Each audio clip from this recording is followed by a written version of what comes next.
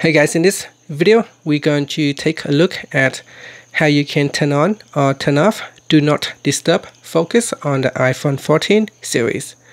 First, let's go back to the home screen by swiping up at the bottom of the screen. And from the home screen, swipe down at the top to open up the control center. In here, touch and hold on focus. Then from the pop-up list, select do not disturb.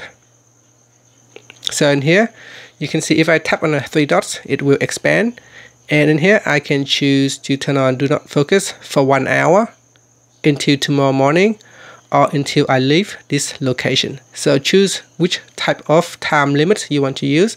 So I'm going to choose um, for one hour. And then it is now on. You can see it is now active with a, uh, a white background. And then just tap on it and you can see it says do not disturb. Is now on. And swipe up and that's it. When do not disturb is on uh, certain people or certain app will not be able to disturb you. And that's it.